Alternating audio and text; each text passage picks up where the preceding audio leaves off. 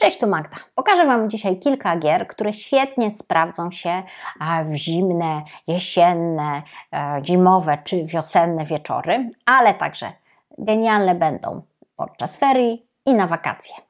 To gry e, do rozgrywki rodzinnej, ale także dzieci mogą grać ze sobą. Pierwsza z nich to Top Trans Match. To gra a, pojedynek dwóch graczy od czwartego roku życia. Zadaniem graczy jest ułożenie tej samej postaci pionowo, poziomo albo ukośnie.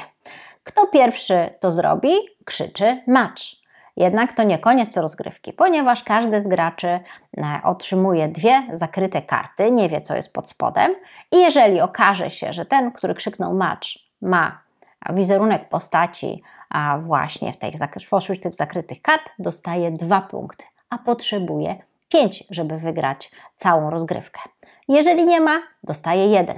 Ale to nie koniec. Jeżeli okaże się, że przeciwnik, mimo że wcale nie uzbierał tej piątki, ma kartę z tą postacią, to on zabiera nam punkty. No, taka gra.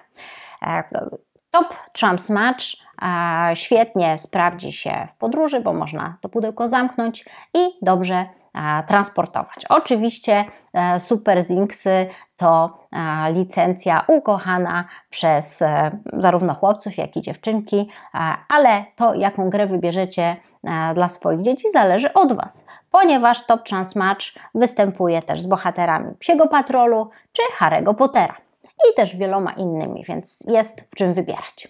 Kolejna gra to Top Trumps. To gra karciana.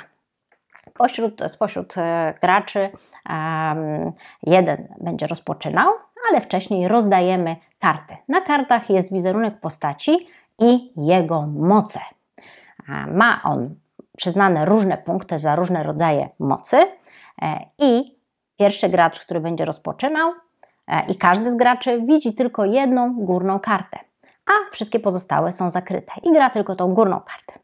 Rozpoczynający zawodnik wymienia jedną moc, jeżeli okaże się, że ma najwięcej punktów za tą konkretną umiejętność swojego bohatera, to zabiera karty wszystkim innym graczom. Jeżeli ktoś z innych graczy ma większą moc, to on zgarnia wszystkie karty, te pojedyncze od każdego gracza i rozpoczyna kolejną rundę. Wygrywa ten gracz, który zdobędzie wszystkie karty. I tutaj znowu możecie grać e, w Top Trumps różnymi bohaterami jak najbardziej Super Zinksy sprawdzą się świetnie, ale e, są też bohaterowie Psiego Patrolu czy właśnie Harry'ego Pottera. No i tutaj zobaczcie, jest cała kolekcja bohaterów i cała kolekcja poszczególnych e, części tych genialnych książek i fantastycznych filmów kochanych przez wiele dzieci.